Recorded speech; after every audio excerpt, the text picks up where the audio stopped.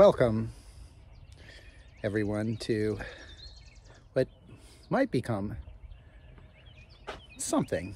I, I'm not sure exactly what it's going to be, but I figure it's just something, you know, like if I have something to do, maybe I might capture it.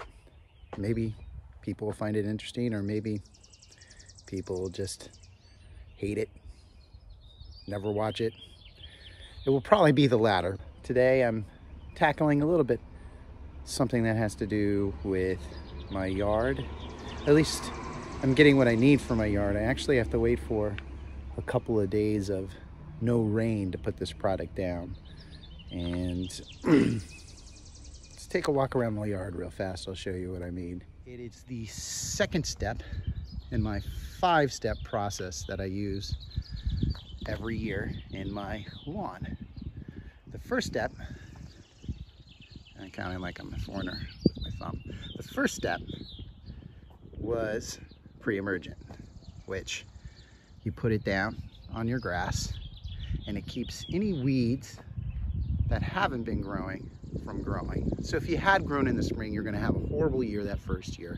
But then the next spring, you would put down that pre-emergent. And you wanna put this fairly early. Like in our area, what I found in the last couple of years is that you're better off doing that in March than any other time of year.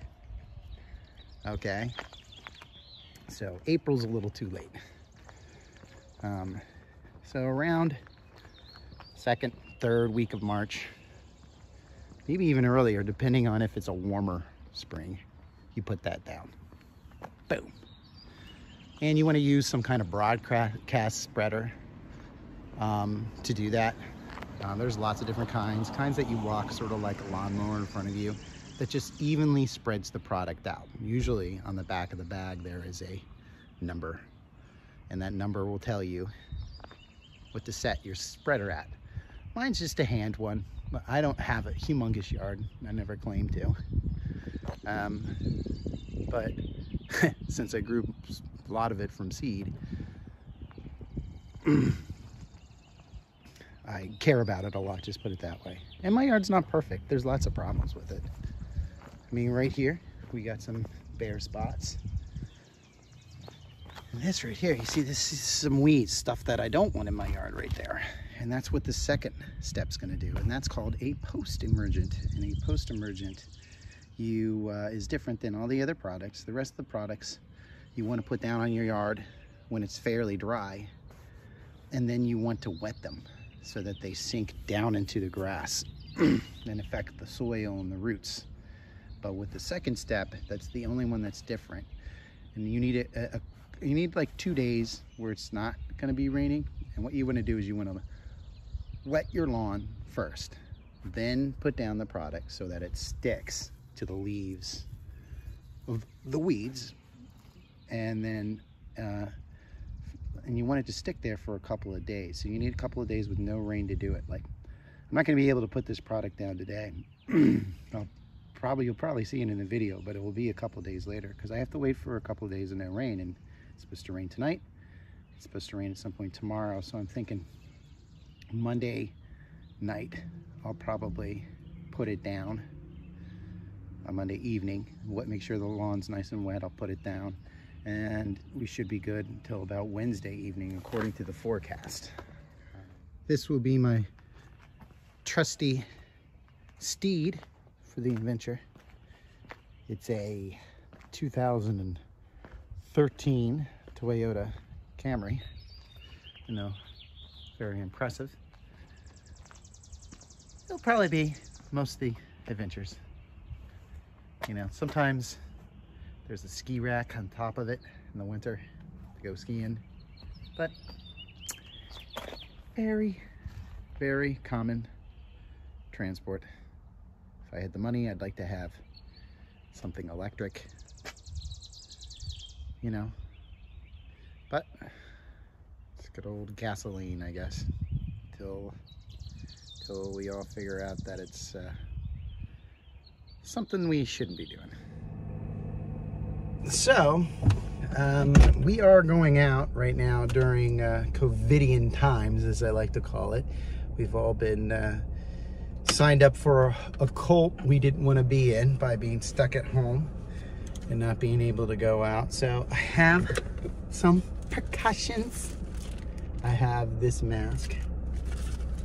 And because uh, hand sanitizer is so sparse, we went to a friend of ours, uh, um, their first communion, their daughter's first communion, and at the giveaway baskets, they had a bunch of these. So she gave us a bunch of these because we couldn't get hand sanitizer anywhere.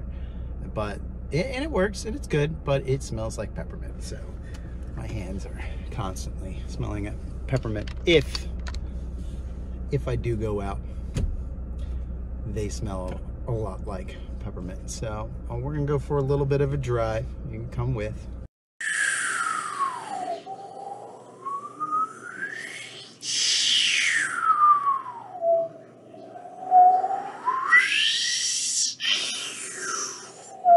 All right, uh, before I go in, actually, I just wanted to show you, this is what I'm dealing with here. It's the Ace hardware. Um, if you, you can't really see, but some of the people here, if you look, they all have masks on. The gentleman there has one on. But, uh, yeah, so. Okay, so that was a successful adventure. It took a, a lot longer than uh, normal. Obviously, they had to, yeah. Um, I was lucky in the fact that I didn't have to wait to get in the store. At the time, there wasn't too many people in the store and I was able to get right in. Um, however, when I left the store, I'm not sure if you can see me, there's a couple people, uh, those, those are all people waiting to get in the store. And I am maybe oh, I want to say about 50 feet from the door.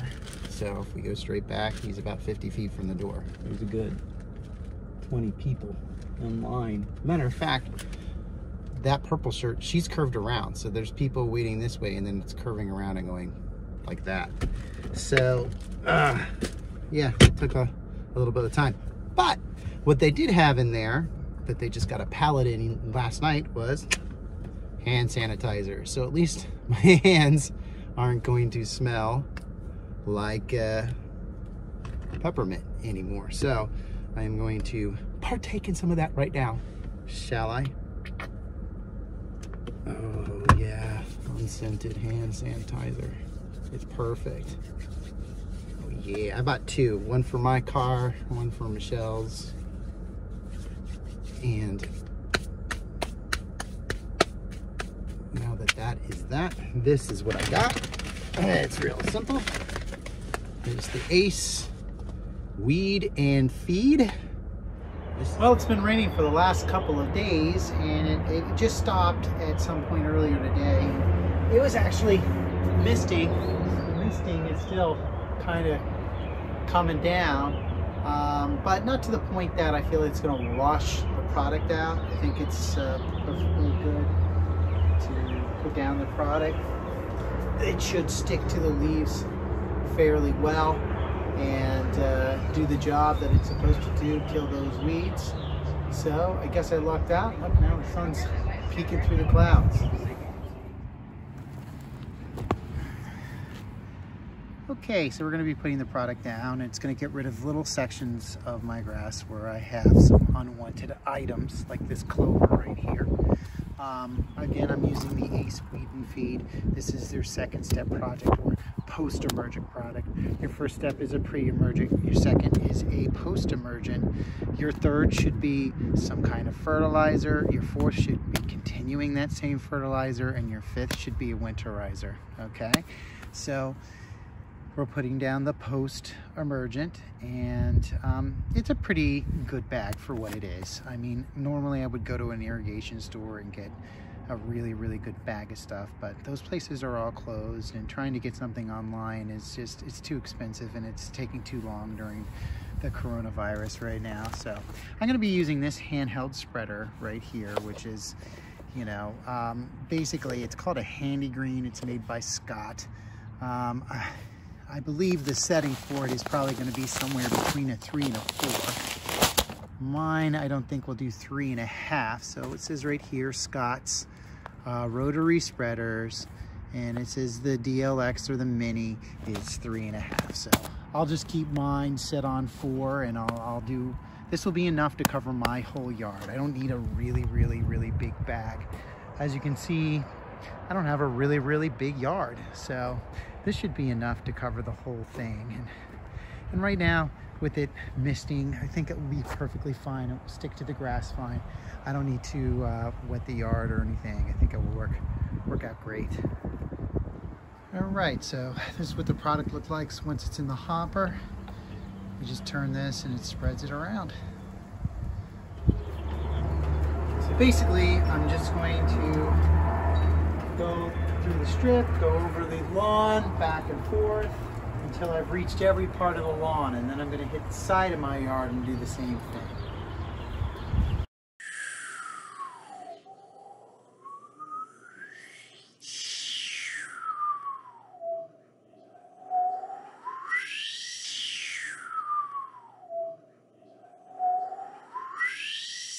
Okay, so I finished putting the product on my lawn back there. I threw it down there and I, you know, and uh, um, I'm hoping in a couple of weeks I'll see those that grass start to pop up even more. You know, I'm pretty satisfied with it so far with the pre-emergent. This is the post-emergent.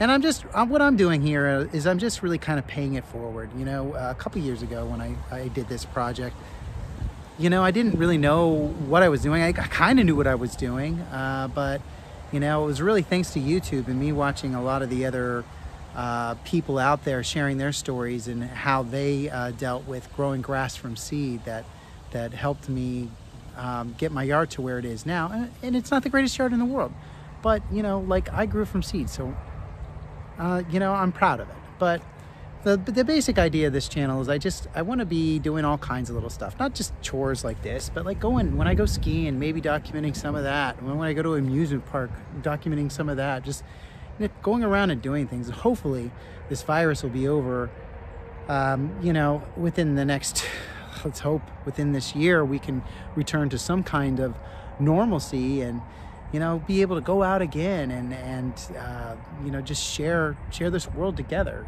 There's a lot to do. There's a lot of great things to be done. And if this this little shut-in has taught me anything is to appreciate all the little things that are in my life that I was just sort of taken for granted. So I hope that you know that I don't take any of you for granted and I would love it if you hit that like button hit subscribe that would be amazing. Thank you so much, and I'll see you in the next adventure. Thanks.